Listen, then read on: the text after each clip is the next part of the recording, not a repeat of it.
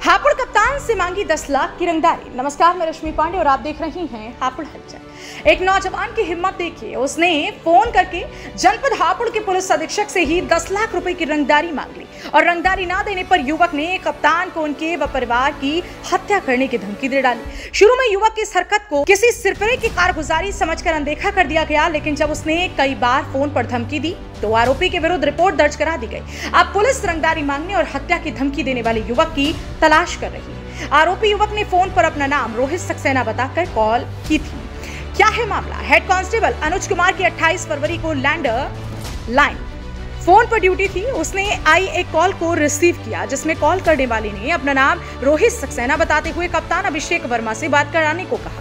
रोहित ने गाली देते हुए अनुज से कहा कि वह कप्तान को संदेश दे कि 10 लाख रुपए पहुँचा दें और हत्या की धमकी भी दे डाली। इस कॉल को किसी सिरफिरे की हरकत समझकर अनदेखा कर दिया गया। लेकिन इस सिरफिरे ने एक बार फिर सरकारी मोबाइल नंबर पर कॉल की और उल्टी सीधी बकवास की।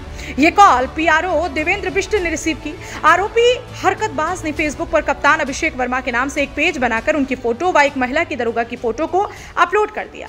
पुलिस रिपोर्ट दर्ज। हेड कांस्टेबल अनुज कुमार ने आरोपी रोहित सक्सेना के विरुद्ध विभिन्न धाराओं में रिपोर्ट दर्ज कराई है और आरोपी की तलाश में कई स्थानों पर दबिश दी है।